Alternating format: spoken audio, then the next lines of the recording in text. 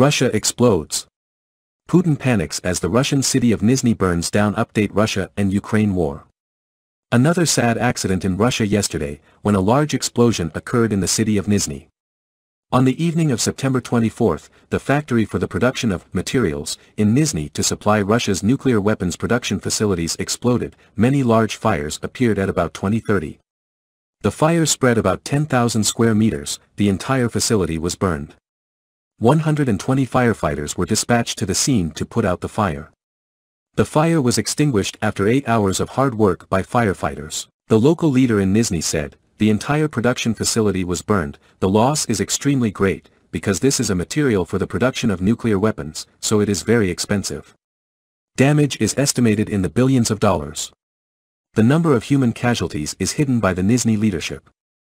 It is known that this facility is an important raw material area to serve the nuclear production facility in Moscow of Russia.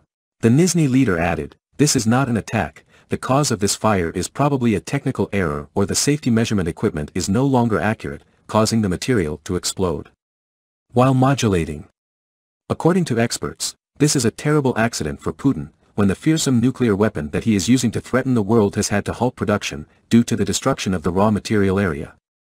Putin's invasion of Ukraine is also seriously threatened by the suspension of production of missiles and nuclear warheads.